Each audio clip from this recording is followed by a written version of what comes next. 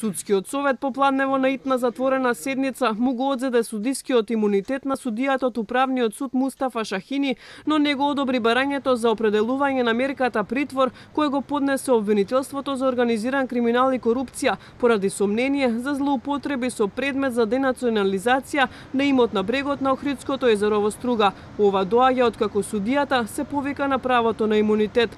Одлучување по барање за притвор е член кој е пропишан во Законот за судски совет. За шефицата на јавното обвинителство за организиран криминал и корупција Вилма Рускоска. овој член е спротивен на Уставот и Законот за кривична постапка. Малку е нелогично да се одземе имунитет, а да не се дозволи определување на мерка притвор. Од две причини. Првата причина е одземањето на имунитет е токму во насока со пределување на мерка притвор.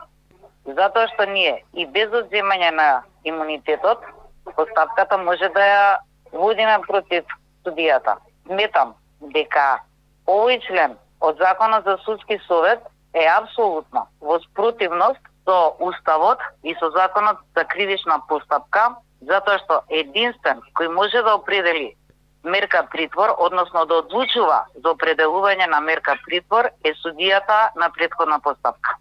Од кривичниот суд велат дека откако одлуката ќе биде испратена до судот, ќе се одлучува по неа. Според обвинителството, осомничениот предходно како адвокат ги застапувал интересите на две лица по барање за денационализација, но потоа во 2018-тата, откако бил избран за судија во управниот суд, одлучувал по тужба за истиот предмет, иако бил должен да се иземе. Председателот на Управниот суд Бурим Седини за Канал 5 потврди дека предметот бил побаран и предаден во основното јавно обвинителство за организиран криминал и корупција. Тој не сака да го коментира случајот, но вели дека сега се е во рацата на истражните органи кои треба да утврдат дали постојат евентуални злоупотреби.